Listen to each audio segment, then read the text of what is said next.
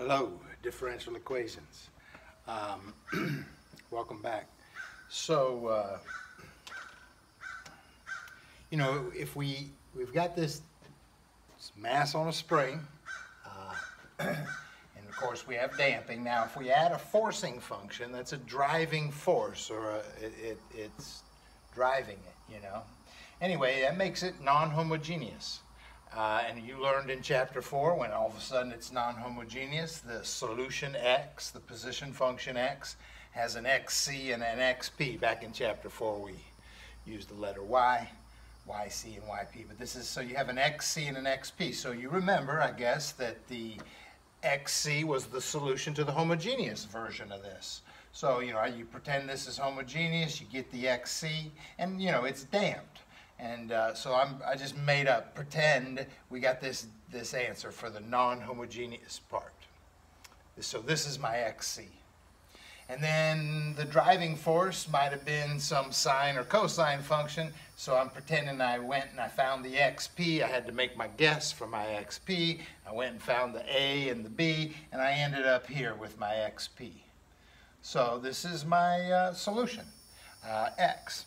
By the way, you know, there would have been a C1 and C2 here, and there would have been initial conditions, and I would have used those initial conditions to find C1 and C2. Make sure you realize you got to find C1 and C2 after you find X, not, not, not back on the XC. I mean, the, the C1 and C2 are on the XC, but you have to wait till you have the entire X before you can use your initial conditions. Just a, just a thought. Um, so, you know, if I graph this, just the XC, it, that's damped. Uh, in fact, it's overdamped is what it is. And there's a picture of it right there. It's that black line. It just dies. I don't think it ever crosses zero. I tried to look at it.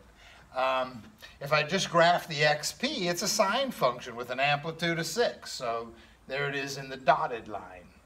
But the solution x is the sum of these two functions, you know? And so you are actually summing the y values here. You're adding these functions together, of course, but graphically you're adding these together. So it's like you're adding these y values, and so they interfere with each other. And here's the result. Uh, the result is um, that right here at the beginning, this is x. So now I'm going to draw a picture of x. Uh, right at the beginning, uh, this, this XP is influencing this XC. And we actually get a little kick up here, except I'm sorry, that's down.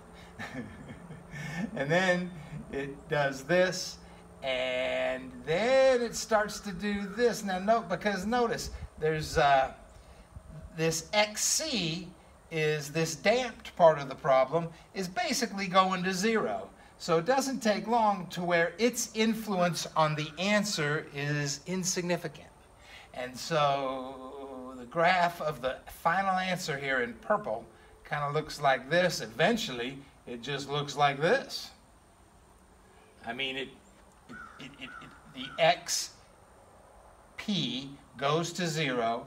I'm sorry, the xc goes to zero, and the xp ends up being the solution you know, at the, at the, beginning, there's a little interference, a little uh, uh, uh, superposition where they add together and create this a little bit of uh, motion there. But, but after that, this basically is a zero. It's adding nothing, contributing nothing to the answer, and the, the, the entire x really just looks like the xp.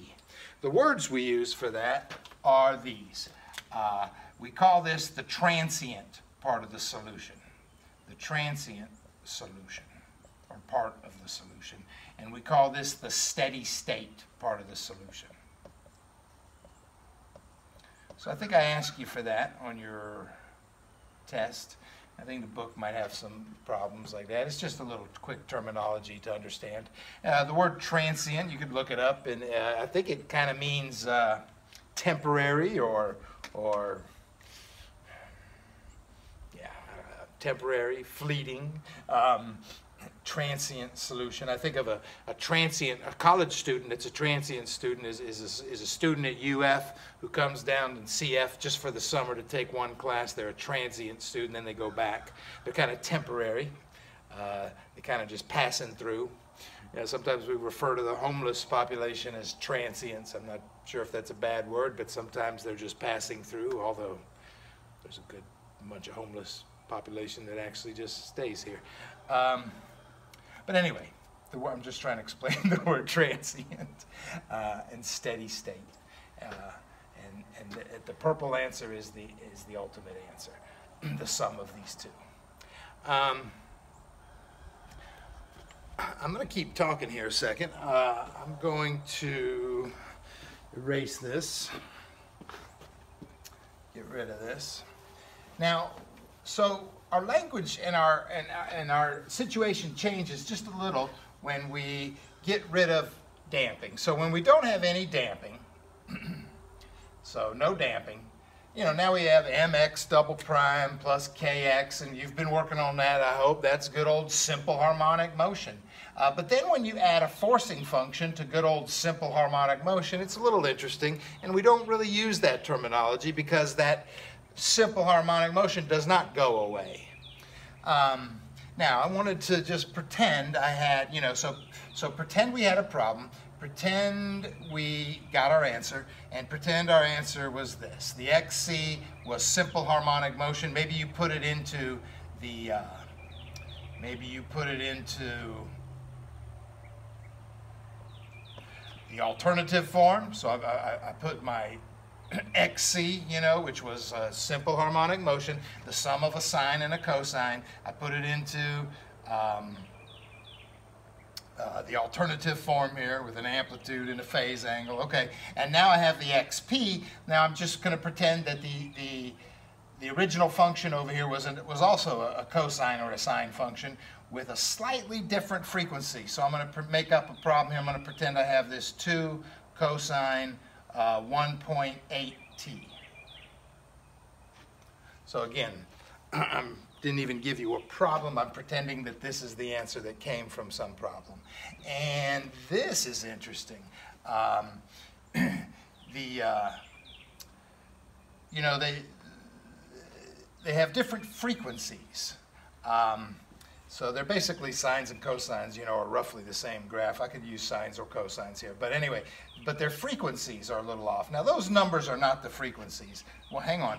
Uh, and those numbers are not the period either. Those numbers uh, are called omega.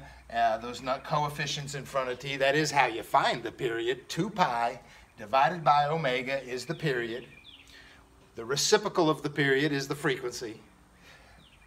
2 pi divided by that number is the period. The reciprocal of the period is the frequency. So there, so when I point to those numbers, those aren't the frequencies, but they have close frequencies due to those close numbers. And the result is beautiful. Um, of course, these graphs superimpose upon each other. And so um, what happens is they're, they're kind of in sync. And if you were to draw this graph, use your graphing calculator and play around, uh, for the first 30 seconds or so, I think what you would see is that they're, they're what we would call constructive interference. They're kind of lined up and, and the waves are adding together. The, the, the peaks of the waves are adding to the peaks of the waves and amplifying the waves. Of course, then they get a little out of sync as because they're not perfectly in sync. So they get a little out of sync and then they diminish. And they diminish a little, but then they get back in sync and start to increase again. I think the word would be constructive interference and then destructive interference. It's a beautiful pattern. I would set my window to like 0 to 30 or 0 to 90. It's fun to play around. Uh, negative, I don't know, negative 10 to 10 maybe on, the, on here. And it's fun to play with your calculator and just play with some of these graphs. And you, again, you would see these beautiful sine and cosine waves, and they're almost in sync. And I think they call these beats uh, in physics. You call this, they refer to these as beats. Um, anyway, um, now, what would happen if this had the frequency of 2t, or this had the 2t, and what if this non-homogeneous part had a cosine 2t? Well, remember, we would have dependency. And if we had dependency, we would uh, uh, we'd have to multiply, oh, we'd have to multiply by t. When we have to guess our xp, we'd have to multiply by a t. So just for fun, let's pretend we did one of these problems because they're kind of hard to do. I think you have to do one on your test. but when you have dependency, let's just say we did the dependency and now we've got this. Something like this came out as our answer. So this was the XC, this is the XP. Notice I'm not using the word transient and steady state anymore. Nobody's going away. Uh, this is we are in an undamped situation, kind of an ideal situation here. And anyway, now this is awesome. When uh, now they, they're, they're, they're totally in sync. And so all we have is constructive interference. We don't even have destructive interference. So it's fun to play around with this graph and look at some various windows. But what it does is this. It's total constructive interference. These, uh, the wave just grows and grows and grows and grows. What's going to happen to the spring? some point the spring breaks, the mass flies off. Anyway, the word for that is pure resonance. Again, it's a kind of an ideal situation because you have to get pure resonance, you have to ignore damping.